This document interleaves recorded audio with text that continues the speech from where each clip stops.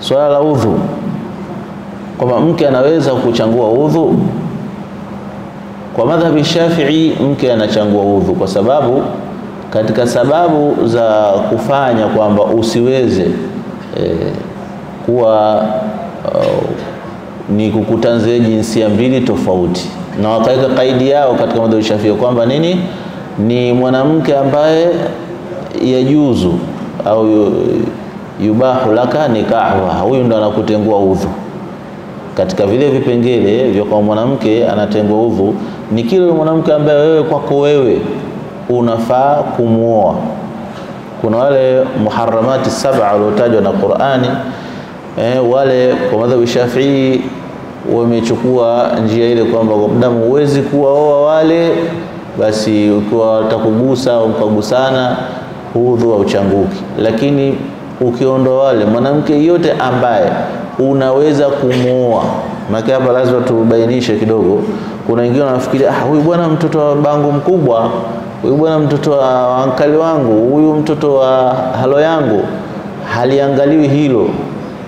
Sheria kwa upande wa madhhabi Shafii umeangalia kwamba je, yule mwanamke wewe ruhusa kwako kisheria kumwoa? Kama ruhusa kwako sheria kumwoa, anakuharibia udhu ukimgusa vile kwa vipengele vile vya kisheria ambavyo tutavibainisha. Ama ikiwa kwamba huwezi kumwoa yule mwanamke, basi huyo akutangui udhu. Hii ni kwa concept ya Imamu Ash-Shafi'i rahimahullah. Ama ukija madhhabi mengine, kwa mfano Imam Maliki, yeye mke achangwe udhu mpaka umtamani kijinsia. Ukienda kwa Abi Hanifa, mke achangwe udhu mpaka kwa kuingiliana kabisa. Yani kila mmoja ameweka utaratibu wake, lakini ukienda Ahmad, yeye ndo kabisa neutral kwamba mwanamke achangwe udhu kwa sababu uh, kipengele cha kuchangua udhu ni kipengele cha kuingiliana.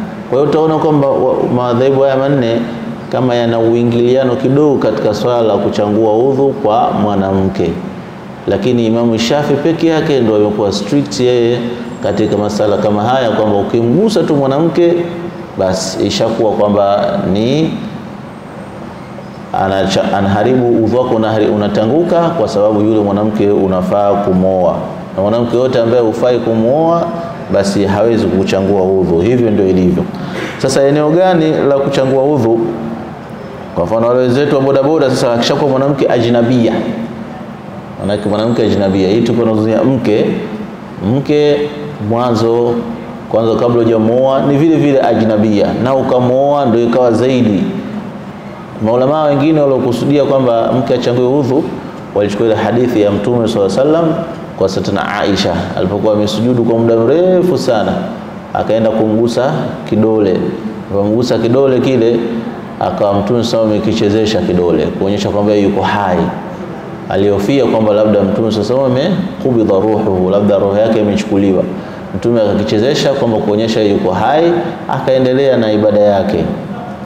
Sasa maulama wengine wakachukulia kwamba mm, ingekuwa kwamba kumgusa mwanamke inachangua udhu, Mtume swalla sallam angekatisha ile swala, lakini Mtume aliendelea. Waliojibu ambao ni Imam Shafi'i na wengineo wakasema kwamba ile alimgusa kwenye haili. Ndio hapa tunapokuja kwamba wewe bwana wa bodaboda ndio pasikilize vizuri hapo.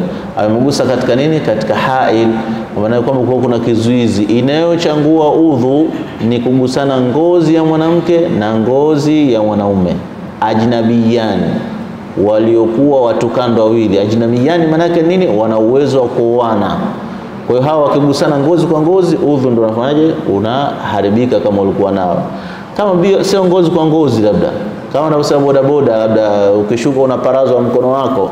Sasa kama mkono wako utakuwa labda umevaa t-shirt yani fupi, mikono mifupi, maana kisa itabaki huku mbele pia ni ngozi tupu, hapo sasa inabidi ukatie udhu tena. Lakini kama umekava mkono wako mrefu, umevaa shati refu, mwanamke hata akakuparaza au akakugusa, haichangui udhu wako uliokuwa nao, haichangui udhu wako uliokuwa nao, manake ingekuwa ni hivyo, ingekuwa ni dhiki sana, hata biashara yenyewe ingekuwa ngumu. Kwanza ya bodaboda tangu mbele, kwanza ni biashara ngumu, lakini ndio hali zilivyo. e, kuna vipengele wanasema vya khalwa kuna vipengele vya khalwa kwamba manake mtu kuna wakati, je, ile kukaa na mwanamke peke yako maeneo gani? Kuna maeneo hata ukikaa na mwanamke peke yako hayachukuliwi kisheria. Moja hivyo katika usafiri, sababu watu wote wanashuhudilia. Nyingine katika lifti, watu wakipanda, watu wanashuhudilia. halwa ile nakusudia kwamba ukikaa peke yako wewe na yeye mwanamke hakuna mtu atakushuhudilia ile baina yako wa baina Allah eh, na mwingine ibilisi akawa anakushawishini. Ile ndio ambayo ilokatazwa kwamba la yakhluwanna arrajulu wa imra'atin ila bainahuma shaytan, au kama qala sallallahu wasallam kwamba akai mtu peke yake mwanamke na mwanaume, isipokuwa shetani atakuwa yukatia kuwashawishi wafanye mambo mabaya. Sasa tangu mbele kazi yenyewe ya bodaboda ni matatizo na wale pia wake wenyewe wanaopakiwa wanawake pia nao tangu mbele ni matatizo. Sasa utakuta ni kazi ambayo Mwenyezi Mungu atufanyie wepesi tu, lakini e, kwa wale watu wanaotaka kujihifadhi na yani wanataka kuwa afifu, wenye kujizuia na zina, basi kazi hiyo kidogo ina uzito, na ukaiweza bila chochote kuwa kimetokea, basi wewe daraja yako ni kubwa zaidi ya ucha Mungu kuliko wengineo, kwa sababu waweza ukawa karibu, mara wengine ndio wewe ukawa ndo ngao wenyewe. Maanake tunajua Honda bodi ni wewe mwenyewe, sasa ikawa ile ngao ndio wewe mwenyewe ukakamatwa wote mzima mzima. Sasa ni shubuhati kwa kweli, ni mambo magumu, lakini ndo riziki wa rizku ma yanfa walau kana muharraman, na riziki ni ile kumnufaisha mtu japo imekuja kwa njia haramu, hiyo kesi nyingine, lakini ile inakunufaisha. Sasa mara nyingi umesema utakaoangalia kile ambacho kitu akupelekei kwenye haramu, kikupelekea kwenye haramu tu kiepuke. Allahu taala alam. Kwa hiyo kugusa ni kwa ngozi kwa ngozi, mkigusana kwenye nguo haina tatizo. Madhabi Shafii umepanua zaidi, wakasema kwamba ukimgusa mwanamke nywele haichangui udhu ukimgusa mwanamke jino haichangui udhu, ukimgusa mwanamke kucha haichangui udhu. Inakusudiwa ni ngozi, kwa sababu zote nilivyozitaja sio ngozi. Nywele sio ngozi, kucha sio ngozi, jino sio ngozi. Kwa hiyo wakasema hapo inakuwa haina kuchanguka udhu. Ama ukimgusa eh, kwa sura nyingine yote, hakuna haid, hakuna kizuizi, hakuna nguo juu yake kwa madhhabi Shafii udhu wako unabidi ukatie tena.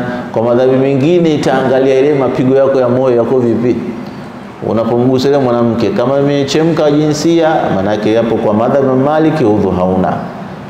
Kama tena Mwenyezi Mungu akuhifadhi ukaenda moja kwa moja kwa madhhabi Hanifa, ndio udhu utakuwa hauna. Allahu taala alam.